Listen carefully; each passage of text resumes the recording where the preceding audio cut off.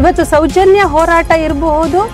ಹನ್ನೆರಡು ವರ್ಷ ಆದರೂ ಸಹ ಅದಕ್ಕೆ ನ್ಯಾಯ ಸಿಗಲಿಲ್ಲ ಅಂತ ಹೇಳಿದರೆ ನಮಗೆ ನಾಚಿಕೆ ಇಲ್ವ? ದಕ್ಷಿಣ ಕನ್ನಡ ಜಿಲ್ಲೆಯಲ್ಲಿ ಮನುಷ್ಯರಂದ್ರೆ ಎರಡೇ, ಡಾಕ್ಟರ್ ಮತ್ತು ಇಂಜಿನಿಯರ್ ಅಂತ ಹೇಳುವ ರೀತಿಯಲ್ಲಿ ವಿದ್ಯಾಭ್ಯಾಸ ದುರಾಸೆ ಇದೆ ನಮಗೆ. ಎಷ್ಟು ಕೊಟ್ಟರು ಬೇಡ ಅಂತ ಹೇಳುವಂಥ ಪರಿಸ್ಥಿತಿ ಇಲ್ಲದೆ ಇನ್ನೊಬ್ಬರನ್ನ ದೋಚುವಂಥದ್ದನ್ನು ಇವತ್ತು ಧರ್ಮಾಧಿಕಾರಿಗಳು ಅಥವಾ ಪೀಠಾಧಿಪತಿಗಳು ಮಾಡ್ತಾ ಇರುವಂಥದ್ದು. ಮುರುಘಶ್ರೀ ಮಠದ ಸ್ವಾಮಿಗಳು ಖಂಡಿತವಾಗ್ಲೂ. ಅದಕ್ಕಾಗಿ ಒಡನಾಡಿ ಸಂಸ್ಥೆ ಆ ಹೆಣ್ಣು ಮಗಳ ಅತ್ಯಾಚಾರ ಆದ ಬಗ್ಗೆ ಆ ಮನೆಯವರ ಅಳು ಆ ಮನೆಯವರ ದುಃಖ ಇದನ್ನ ತೋರಿಸಿ ತೋರಿಸಿ ಆ ಹೆಣ್ಣಿನ ಮೇಲೆ, ಆ ಕುಟುಂಬದ ಮೇಲೆ ಅತ್ಯಾಚಾರವನ್ನು ಮಾಡ್ತಾ ಇದ್ದಾರೆ. ಹೊರತು ನ್ಯಾಯಾಂಗವನ್ನು ಅಥವಾ ರಾಜಕೀಯ ವ್ಯವಸ್ಥೆಯನ್ನು ಪ್ರಶ್ನಿಸುವಂಥದ್ದನ್ನು ಮಾಡ್ತಾ ಇಲ್ಲ ಅದು. ನಗರ ಜೀವನದ ಜಂಜಾಟ, ಸಾವಿರಾರು ಗಾಡಿಗಳ ಓಡಾಟ, ಶಬ್ದ ಮಾಲಿನ್ಯದಿಂದ ಬಲು ದೂರ ಪ್ರಕೃತಿ ರಮಣೀಯ ತಾಣದಲ್ಲಿ ಮನೆಯ ಮಾಡಿ ನೆಮ್ಮದಿಯ ಬದುಕನ್ನು ಕಾಣುವ ನಿಮ್ಮ ಕನಸನ್ನು ನನಸಾಗಿಸುತ್ತಿದೆ ಮೌರ್ಯ ಡೆವಲಪರ್ಸ್. ಗುರುವಾಯನ ಕೆರೆಯ ಶಕ್ತಿನಗರದ ಸಸ್ಯೋದ್ಯಾನದಲ್ಲಿ ಐದರಿಂದ ಏಳು ಸೆಂಟ್ಸ್ಗಳ ನಿವೇಶನಗಳು ವಿಶೇಷ ದರದಲ್ಲಿ ಲಭ್ಯ. ಮಾಸಿಕ ಕಂತುಗಳಲ್ಲಿ ಪಾವತಿಗೆ ಅವಕಾಶ. ಬ್ಯಾಂಕ್ನಿಂದ ಸಾಲದ ಸೌಲಭ್ಯ. ಕಣ್ಣಳತೆಯಲ್ಲೇ ಶಾಲೆ, ಕಾಲೇಜು, ಆಸ್ಪತ್ರೆ ಮತ್ತಿತರ ಸೌಕರ್ಯಗಳು. ಸಸ್ಯೋದ್ಯಾನದಲ್ಲಿ ನಿಮ್ಮ ಮನೆ, ಪಶ್ಚಿಮ ಘಟ್ಟ ನಿಮ್ಮ ನೆರೆಮನೆ. ತಡಬೇಕೆ ಹಿಂದೆ ಭೇಟಿ ನೀಡಿ ಮೌರ್ಯ ಡೆವಲಪರ್ಸ್, ಶಕ್ತಿನಗರ ಗುರುವಾಯನ ಕೆರೆ ವೀಕ್ಷಕರೇ ನಾಗರಿಕ ಸೇವಾ ಟ್ರಸ್ಟ್ನ ಉಪಾಧ್ಯಕ್ಷರು ಹಾಗೂ ಕರಾವಳಿ ಮಹಿಳಾ ಜಾಗೃತ ವೇದಿಕೆಯ ಉಪಾಧ್ಯಕ್ಷೆ ಸಾಮಾಜಿಕ ಕಾರ್ಯಕರ್ತೆಯಾದಂತಹ ವಿದ್ಯಾ ನಾಯಕರವರು ನಮ್ಮ ಜೊತೆಗಿದ್ದಾರೆ. ಪ್ರಸ್ತುತ ವಿದ್ಯಮಾನಗಳನ್ನು ಗಮನಿಸುವಾಗ ಒಬ್ಬ ಸಾಮಾಜಿಕ ಕಾರ್ಯಕರ್ತೆಯಾಗಿ ನನಗೆ ಅನಿಸುವಂಥದ್ದು ನಮ್ಮ ಸಮಾಜದಲ್ಲಿ ಸಂವೇದನಾಶೀಲತೆಯನ್ನು ನಾವು ಕಳ್ಕೊಳ್ತಾ ಇದ್ದೇವೆ ಎನ್ನುವ ಪ್ರಶ್ನೆ. ನಮ್ಮ ಧಾರ್ಮಿಕ ಸಂಸ್ಥೆಗಳು ಇರಬಹುದು, ಧಾರ್ಮಿಕ ಮುಖಂಡರುಗಳು ಇರಬಹುದು, ರಾಜಕೀಯ ಮುಖಂಡರುಗಳು ಇರಬಹುದು, ನ್ಯಾಯಾಂಗ, ಕಾರ್ಯಾಂಗ ಅಥವಾ ನಮ್ಮ ಒಡು, ಒಟ್ಟು ವ್ಯವಸ್ಥೆಯನ್ನು ನಾವು ಗಮನಿಸಿದಾಗ ಅನಿಸುವಂಥದ್ದು ಏನಂದರೆ ನಮ್ಮಲ್ಲಿ ಸಂವೇದನಾಶೀಲತೆಯನ್ನು ನಾವು ಕಳ್ಕೊಳ್ತಾ ಇದ್ದೇವೆ. ಒಂದು ಹೆಣ್ಣು ಮಗಳ ಮೇಲೆ ಒಂದು ಅತ್ಯಾಚಾರ ನಡೆದಿದೆ ಅಂತ ಹೇಳಿ ಆದರೆ ಅತ್ಯಾಚಾರ ನಡೆದಿರುವಂಥ ಬಗ್ಗೆ ಖೇದಗಳು ಹೇಗೆ ವ್ಯಕ್ತ ಆಗ್ತದೆ ಅಂದರೆ ಆ ಆ ಮಹಿಳೆಯ ಜಾತಿ, ಆ ಮಹಿಳೆಯ ಧರ್ಮ, ಆ ಮಹಿಳೆಯ ಬಟ್ಟೆ, ಆಕೆಯ ಬಟ್ಟೆ ಬರೆಗಳ ಬಗ್ಗೆ ಇರಬಹುದು. ಅವಳು ಆ ಹೊತ್ತಿನಲ್ಲಿ ಯಾಕೆ ಹೋಗಬೇಕಿತ್ತು? ಇಂಥ ಪ್ರಶ್ನೆಗಳು, ಕ್ಷುಲ್ಲಕ ವಿಚಾರಗಳ ಬಗ್ಗೆನೇ ಮಾತುಕತೆಗಳು ನಡೆಯುತ್ತದೆ ಹೊರತು ಆ ಅತ್ಯಾಚಾರದ ಬಗ್ಗೆ ಖಂಡಿಸಿ ಆಕೆಗೆ ನ್ಯಾಯ ಕೊಡಿಸ್ಬೇಕು. ನಮಗೂ ಆ ಜವಾಬ್ದಾರಿ ಇದೆ ಅನ್, ಅಂತ ವಿಚಾರವನ್ನು ಇವತ್ತು ಬಹಳ ಬೇಸರದಲ್ಲಿ ಹೇಳಬೇಕು. ಪ್ರಜಾಪ್ರಭುತ್ವದ ನಾಲ್ಕನೇ ಕಂಬ ಅಂತ ಹೇಳುವಂಥ ಮಾಧ್ಯಮಗಳು ಇವತ್ತು ಅದನ್ನು ಟಿ ಆರ್ ಪಿಗೋಸ್ಕರ ಬಳಕೆ ಮಾಡ್ತಾ ಇರೋದು ಮಾತ್ರ ದುರಂತ ಅಂತ ಹೇಳಲಿಕ್ಕೆ ನಾನು ಇಷ್ಟಪಡ್ತೇನೆ. ಯಾಕೆ ಅಂತ ಹೇಳಿದರೆ ಮಾಧ್ಯಮಗಳು ಯಾವ ವಿಚಾರಗಳನ್ನು ಮಾತನಾಡಬೇಕು, ಸಂವೇದನಾಶೀಲತೆಯನ್ನು ಹೆಚ್ಚಿಸಬೇಕು ಪಾಸಿಟಿವ್ ಆಗಿ ಮಾತನಾಡುವಂಥ ವಿಚಾರಗಳ ಬಗ್ಗೆ ಹೇಳೋದಿಲ್ಲ, ಆ ಹೆಣ್ಣು ಮಗಳ ಅತ್ಯಾಚಾರ ಆದ ಬಗ್ಗೆ, ಆ ಮನೆಯವರ ಅಳು ಆ ಮನೆಯವರ ದುಃಖ ಇದನ್ನ ತೋರಿಸಿ ತೋರಿಸಿ ಆ ಹೆಣ್ಣಿನ ಮೇಲೆ, ಆ ಕುಟುಂಬದ ಮೇಲೆ ಅತ್ಯಾಚಾರವನ್ನ ಮಾಡ್ತಾ ಇದ್ದಾರೆ. ಹೊರತು ನ್ಯಾಯಾಂಗವನ್ನ ಅಥವಾ ರಾಜಕೀಯ ವ್ಯವಸ್ಥೆಯನ್ನ ಪ್ರಶ್ನಿಸುವಂಥದ್ದನ್ನ ಮಾಡ್ತಾ ಇಲ್ಲದಿರೋದು ಇವತ್ತು ಸೌಜನ್ಯ ಹೋರಾಟ ಇರಬಹುದು, ಹನ್ನೆರಡು ವರ್ಷ ಆದರೂ ಸಹ ಅದಕ್ಕೆ ನ್ಯಾಯ ಸಿಗಲಿಲ್ಲ ಅಂತ ಹೇಳಿದರೆ ನಮಗೆ ನಾಚಿಕೆ ಅನ್ನಿಸೋದಿಲ್ವಾ ನಾವು ಓಟಿಗೋಸ್ಕರ, ರಾಜಕಾರಣಕ್ಕೋಸ್ಕರ ಒಂದು ಹೆಣ್ಣು ಮಗಳ ಅತ್ಯಾಚಾರವನ್ನು ಬಳಕೆ ಮಾಡಿಕೊಳ್ಬೇಕಾ? ಇತ್ತೀಚೆಗೆ ಎಲ್ಲ ಪಕ್ಷದ ಕಡೆಯಿಂದಲೂ ಸಹ ಹೋರಾಟ ನಡೆಯಿತು. ಏನಾಯಿತು? ಜನರನ್ನು ಸೇರಿಸಿದ್ರು ಮುಗ್ದೋಯ್ತು. ಸ್ಟೆಪ್ಸ್ ಏನಾಯಿತು? ಪತ್ರಿಕೆಯಾಗಿ, ಒಂದು ಪತ್ರಿಕೋದ್ಯಮದವರು ಪತ್ರಕರ್ತರಾಗಿ ಅದನ್ನು ಪ್ರಶ್ನಿಸಿದ್ದಾರಾ? ಇದು ನನಗೆ ಕಾಡುತ್ತಿರುವಂಥ ಒಂದು ವಿಷಯ. ಇವತ್ತು ನಾವು ಪತ್ರಿಕೆಯನ್ನು ಓದಿ ನೋಡಿದರೆ ಜಾಹೀರಾತುಗಳು, ಅತ್ಯಾಚಾರಗಳು, ಆಮೇಲೆ ಅಲ್ಲಿ ವಿಷ ಸೇವಿಸಿಕೊಂಡ್ರು ಇದೊಂದು. ದೇಶದ ಅಭಿವೃದ್ಧಿಯ ಬಗ್ಗೆ ಇಷ್ಟು ಪೇಜ್ಗಟ್ಟಲೆ ಅದರ ಆ್ಯಡ್ಗಳು ಕಾಣಲಿಕ್ಕೆ ಸಿಗ್ತದೆ. ಟಿ ವಿಯನ್ನು ಆನ್ ಮಾಡಿದರೆ ಹೇಳಿದ್ದನ್ನೇ ಹೇಳೋದು ಹೇಳುವುದನ್ನೇ ಹೇಳೋದು, ಅಥವಾ ವಾಯ್ಸ್ ಮಾಡ್ಯುಲೇಷನ್ ಅಂತ ಹೇಳಿಕೊಳ್ಳೋ ರೀತಿಯಲ್ಲಿ ಕಿರುಚುವಂಥದ್ದನ್ನು ನೋಡಬೇಕಾದ್ರೆ ಯಾವುದು ಸತ್ಯ, ಯಾವುದು ಸುಳ್ಳು, ಎಷ್ಟು ಅದರಲ್ಲಿ ಸ್ಟ್ಯಾಟಿಸ್ಟಿಕಲ್ ಎರರ್ಸ್ ಈ ರೀತಿಯಲ್ಲಿ ಒಂದೊಂದು ಪಕ್ಷಕ್ಕೆ ಅಂಟಿಕೊಂಡು ಮಾಹಿತಿಗಳನ್ನು ಹೇಳುವಂಥದ್ದು ಅಥವಾ ಒಂದು ಮಾಹಿತಿಯನ್ನು ವಿಜ್, ಇದು ಮಾಡುವಂಥದ್ದು ಎಕ್ಸಾಗ್ರೇಟ್ ಮಾಡಿ ಹೇಳುವಂಥದ್ದು.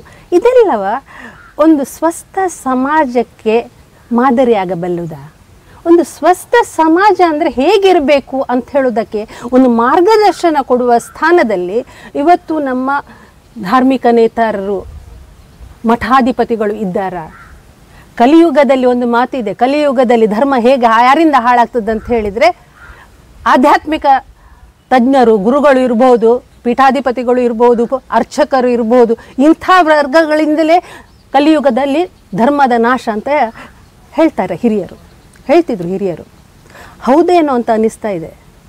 ಇವತ್ತು ಧರ್ಮವನ್ನು ಉದ್ಯಮ ಮಾಡಿಕೊಂಡಿರುವಂಥದ್ದು ನಾವು ಎಲ್ಲ ಕಡೆಯಲ್ಲಿ ನೋಡ್ತೇವೆ ಎಷ್ಟೊಂದು ಸ್ವಾಮಿಗಳು, ಕಾಮಿಗಳಾಗಿ ಮಕ್ಕಳ ಮೇಲೆ ಅತ್ಯಾಚಾರ ಮಾಡಿದ್ದನ್ನು ನಾವು ಗಮನಿಸುವಾಗ ಏನೂ ಅನಿಸುವುದಿಲ್ವಾ ನ್ಯಾಯ ಕೊಡಬೇಕು ಅಂಥೇಳಿ ಆದರೆ ಆ ಮಹಿಳೆಯ ಸ್ಥಾನದಲ್ಲಿ ನಿಂತು ನೋ ಯೋಚಿಸಿದಾಗ ಮಾತ್ರ ಆವಾಗ ಆ ನ್ಯಾಯ ಕೊಡಲಿಕ್ಕೆ, ಹೆಣ್ಣು ಮಗಳಿಗೆ ನ್ಯಾಯ ಕೊಡಲಿಕ್ಕಾಗ್ತದೆ. ಇವತ್ತು ಹೇಳ್ತಾರೆ ಕಾನೂನು ಕಾನೂನಿನಲ್ಲಿ ಎಲ್ಲರೂ ಸಮಾನರು. ಕಾನೂನಿನಲ್ಲಿ ಕಣ್ಣಿಗೆ ಕಪ್ಪು ಬಟ್ಟೆಯ ದೇವತೆ ಕಾನೂನಿನ ದೇವತೆ ಕಣ್ಣಿಗೆ ಪಟ್ಟೆಯನ್ನು ಕಟ್ಟಿದಾಳೆ ಅಂತ. ಆದರೆ ನಾವು ಇವತ್ತು ನೋಡ್ತೇವೆ, ಜಜ್ಮೆಂಟ್ಸ್ಗಳನ್ನು ನಾವು ನೋಡ್ತೇವೆ, ಯಾವ ರೀತಿಯಲ್ಲಿ ಇದೆ ಅಂತ. ಹಾಗಿರುವಾಗ ನಾವು ನೋಡಬೇಕು, ನನ್ನ ಮಗಳಿಗೂ ಅದೇ ರೀತಿ ಆಗ್ತಿದ್ದಲ್ಲಿ, ನನ್ನ ತಾಯಿಗೂ ಇದೇ ನೋವು ಆಗ್ತಿದ್ದಲ್ಲಿ ಅಂತ ಹೇಳುವಂಥ ಆ ಸೆನ್ಸೇಷನ್ ನಮಗೆ ಇವತ್ತು ಒಂದು ಸಾರಿ ಕೇಳ್ತೇವೆ ಮರುದಿನಕ್ಕೆ ಮರೆತು ಹೋಗ್ತದೆ.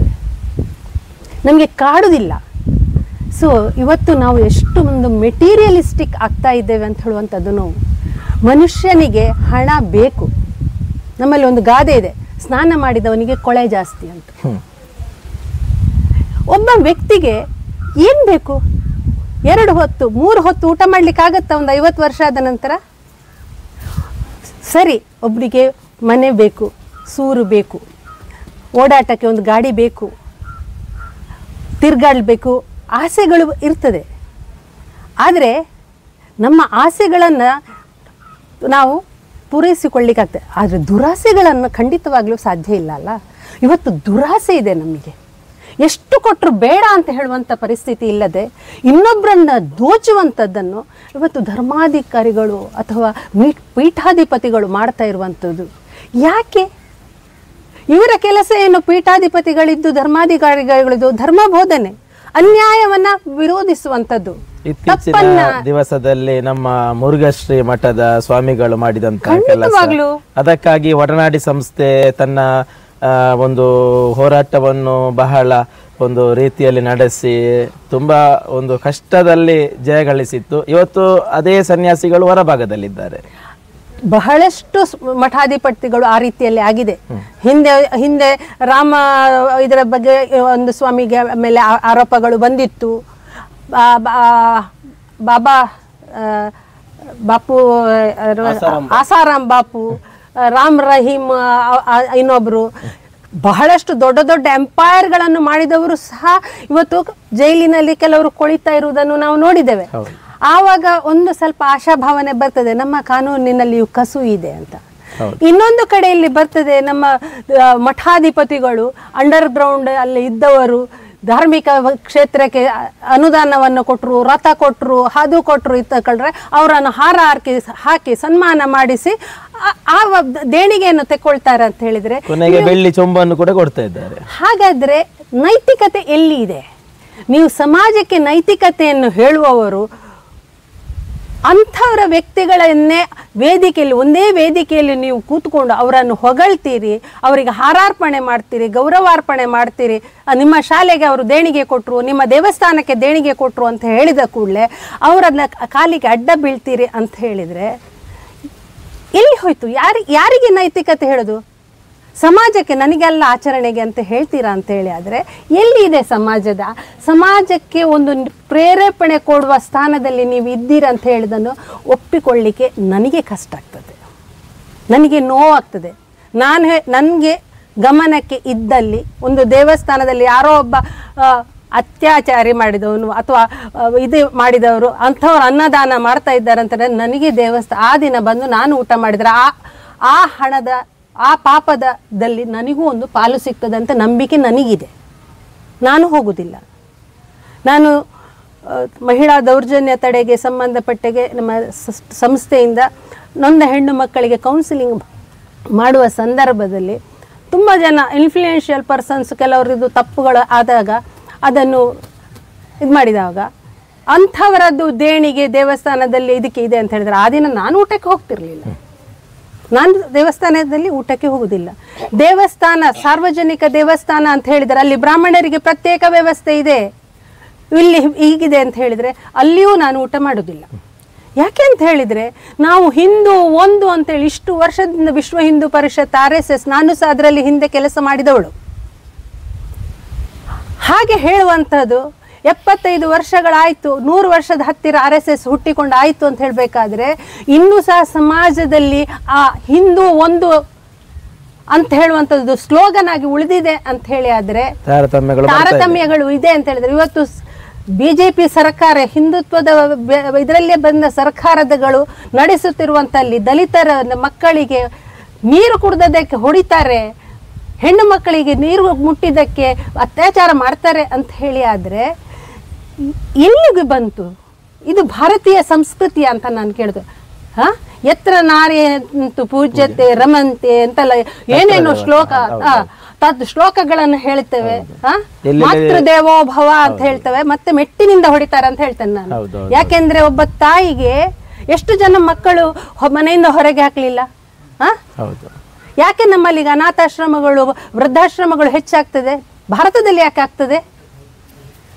ವಿದೇಶಿ ಸಂಸ್ಕೃತಿಯನ್ನು ನಾವು ಬಹಳಷ್ಟು ದೂರ್ತೇವೆ ಹ್ಮ್? ಆದರೆ ತಂದೆ ತಾಯಿಗಳು ಮಕ್ಕಳನ್ನು ನೋಡಬೇಕಾದ್ರೆ ಟೈಮಿಂಗ್ಸ್ ಅನ್ನು ಹೇಳ್ತಾರೆ ಅಂತ. ಬಟ್ ಆ ಟೈಮಿಂಗ್ಸ್ ಅನ್ನು ಇಟ್ಟರೆ ಸಹ ಆ ಆ ಟೈಮ್ನನ್ನು ಪೂರ್ತಿಯಾಗಿ ತನ್ನ ತಂದೆ ತಾಯಿಗಳಿಗೆ ಕೊಡ್ತಾರೆ. ನಾವು ನಮ್ಮ ತೀರ್ಥಕ್ಷೇತ್ರದಲ್ಲಿ ತಂದೆ ತಾಯಿಗಳನ್ನು ವೀಲ್ ಚೇರಲ್ಲಿ ತಗೊಂಡು ಹೋಗೋದನ್ನು ನೋಡಿದ್ದೇವಾ? ಖಂಡಿತವಾಗಲಿಲ್ಲ. ಆ?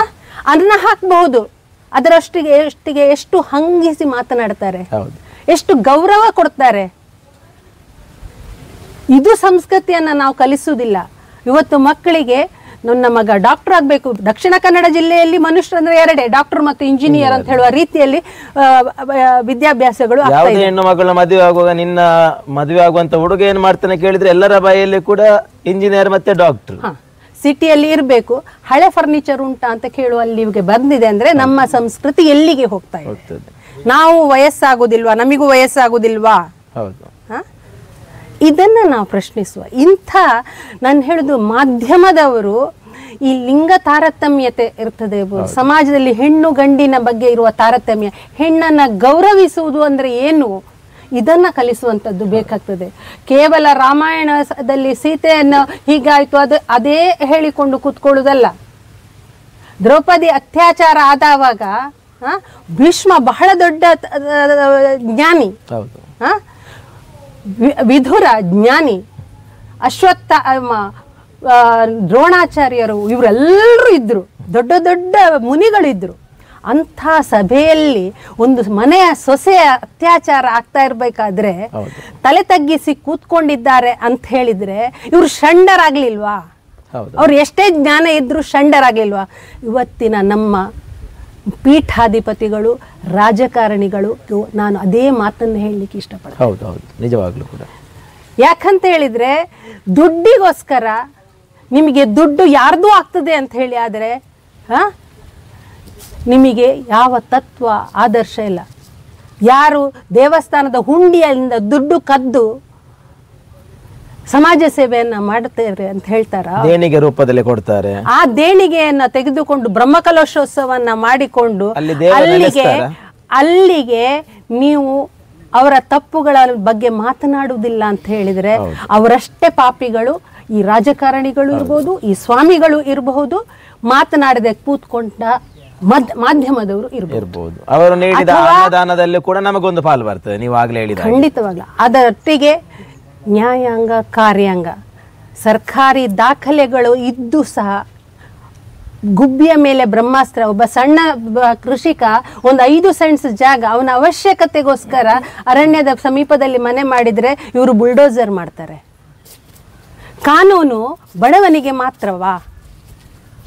ಇಷ್ಟೊಂದು ಈಗ ಇದು ಭೂ ಅಕ್ರಮದ ಬಗ್ಗೆ ಇಷ್ಟೊಂದು ದಾಖಲೆಗಳನ್ನು ಕೊಟ್ಟಾಗ ದಾಖಲೆಯನ್ನು ಹೇಳಿದವನಿಗೆ ಗುದ್ದು. ಅವರಿಗೆ ಜೈಲು. ಹಾ?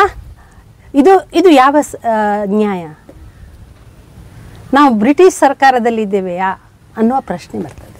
ಯಾರು ತಪ್ಪು ಮಾಡ್ತಿದ್ದಾರೆ ಅವರಿಗೆ ಶಿಕ್ಷೆ ಇಲ್ಲ. ತಪ್ಪನ್ನು ಯಾರು ಎತ್ತಿ ಹಿಡಿದಿದ್ದಾರೆ ಅವರಿಗೆ ಶಿಕ್ಷೆ ನಾವು ತಾಂತ್ರಿಕ ವಿಷಯದಲ್ಲಿ ಮಾತನಾಡ್ತೇವೆ ಹೊರತು ನ್ಯಾಯ ನಾನು ಒಂದು ನಮ್ಮ ಸಂಸ್ಥೆಯಲ್ಲಿ ಒಂದು ನಾವು ಮಹಿಳಾ ನ್ಯಾಯಾಲಯ ಅಂತ ಒಂದು ಮಾಡಿದ್ದೆವು.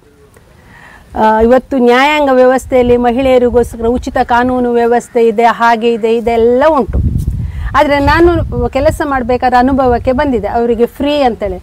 ಫ್ರೀ ಅಂತ ಹೇಳಿದ ಕೂಡಲೇ ಎಷ್ಟು ನಮಗೆ ಅದರಲ್ಲಿ ವ್ಯವಸ್ಥೆ ಉಂಟು ಅಂತೇಳಿ ನಮಗೆ ಗೊತ್ತುಂಟು. ಹಾಗೆ ಒಂದು ಹೆಣ್ಣು ಮಗಳು ನ್ಯಾಯಕ್ಕೋಸ್ಕರ ಹೋದಾಗ ನನ್ನ ಮನೆಯಲ್ಲಿ ಹೀಗೆ ಹಿಂಸೆ ಕೊಡ್ತಾರೆ ಅಂತ ಹೇಳಬೇಕಾದ್ರೆ, ಗೆಲ್ಲುವುದೇ ಒಬ್ಬ ನ್ಯಾಯ ವಕೀಲನಿಗೆ ಗೆಲ್ಲುವುದೇ ಮುಖ್ಯವಾಗಿರ್ತದೆ.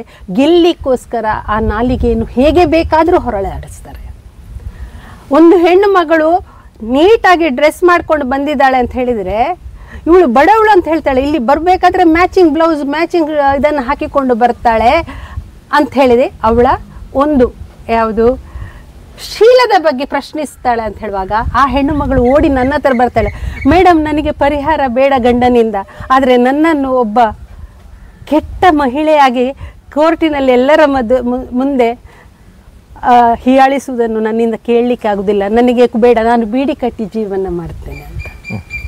ಸೊ ಇಲ್ಲಿ ಲಿಂಗ ಸೂಕ್ಷ್ಮತೆ ಅಂತ ಹೇಳುವಂಥದ್ದು ಒಂದು ನ್ಯಾಯ ಗೆಲ್ಲಬೇಕು ಇರಬಹುದು ಆದರೆ ನಾಲಿಗೆಯಲ್ಲಿ ಬಳಸುವ ಮಾತುಗಳು ಹೇಗಿರಬೇಕು?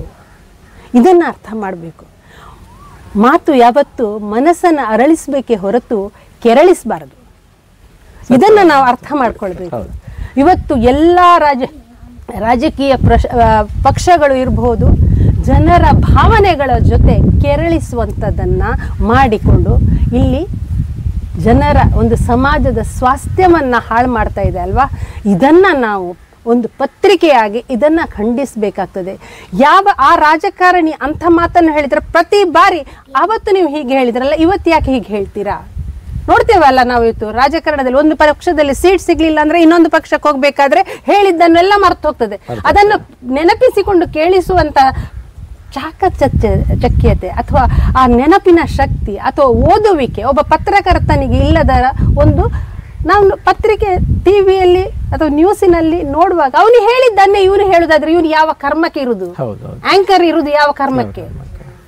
ಪ್ರಶ್ನಿಸ್ಲಿಕ್ಕೆ ಅವನಿಗೆ ಗೊತ್ತಿಲ್ಲ.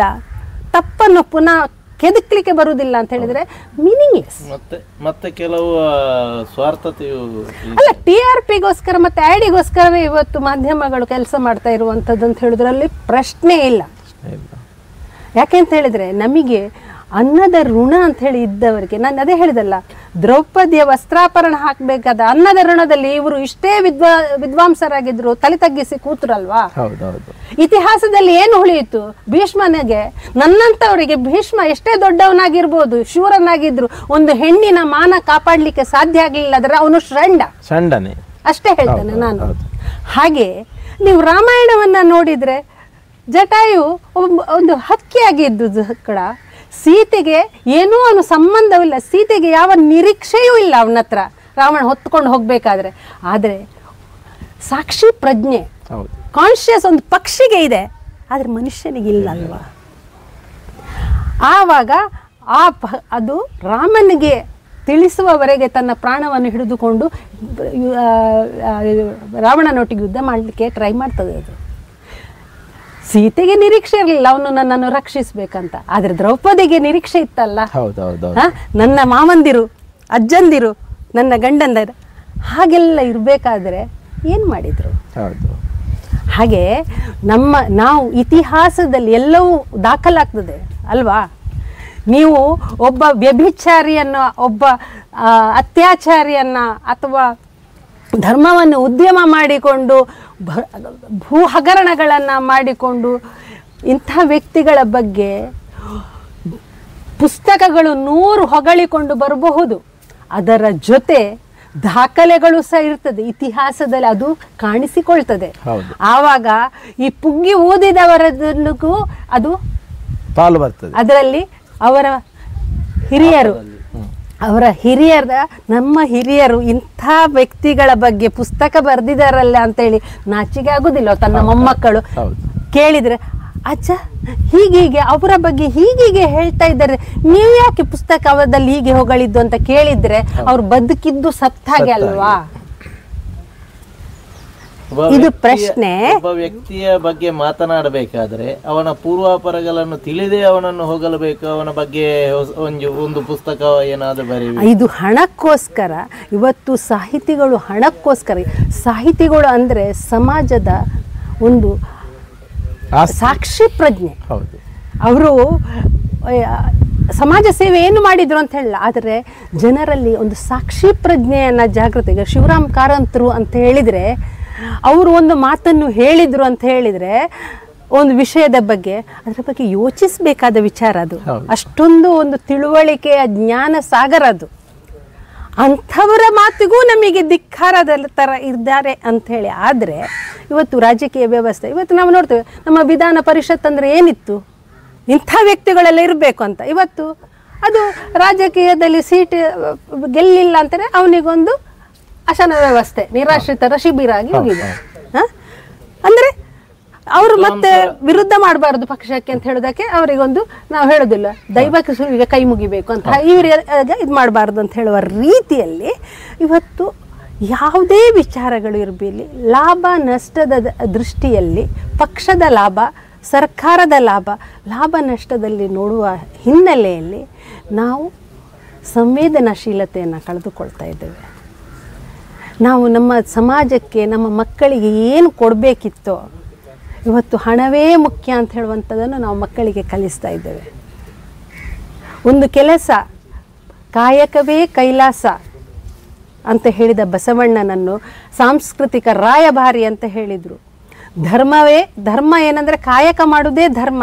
ಜಾತಿ, ಧರ್ಮ ಯಾವುದೂ ಇಲ್ಲ. ಕೆಲಸ ಮಾಡಬೇಕು ಅಂತ ಹೇಳಿಕೊಂಡು ಎಲ್ಲ ದ- ಕೆಳವರ್ಗದವರನ್ನೆಲ್ಲರನ್ನು ಸೇರಿ ಲಿಂಗಾಯತ ಧರ್ಮ ಅಂತ ಒಂದು ಇದನ್ನು ಕಟ್ಟಿದರು. ಆದರೆ ಇವತ್ತು ಪುನಃ ಅದರಲ್ಲಿ ಪಂಚಮರು, ಇವರು, ಅವರು ಅಂತ ಹೇಳಿ ಡಿವೈಡ್ ಎಲ್ಲಿ ಹೋಗ್ತದೆ? ಜಾತಿ ಜಾತಿ ಅಂತ ಬಡ್ದಾಡ್ಕೊಳ್ತಾ ಇದ್ದಾರೆ.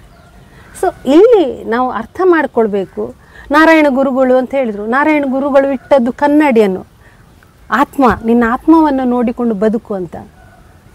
ಆದರೆ ಇವತ್ತು ನಾರಾಯಣ ಗುರುಗಳಿಗೆ ಒಂದು ದೇವಸ್ಥಾನವನ್ನು ಕಟ್ಟುವಂಥದ್ದು. ಅಂದರೆ ಅವರ ಮೂಲ ತತ್ವವನ್ನೇ ನಾವು ಮರೆತು ಎಲ್ಲರನ್ನು ದೇವರು ಮಾಡಲಿಕ್ಕೆ ಹೊರಡುವಂಥದ್ದು ಅಂಬೇಡ್ಕರ್ ಸಮಾಜದ ಮುಖ್ಯವಾಹಿನಿಗೆ ಬರಬೇಕು, ಅದಕ್ಕೋಸ್ಕರ ಶಿಕ್ಷಣ ಬೇಕು, ಆರ್ಥಿಕವಾಗಿ ಮುಂದೆ ಬರಬೇಕು ಅಂತ ಹೇಳ್ತಾ ಇದ್ದಾರೆ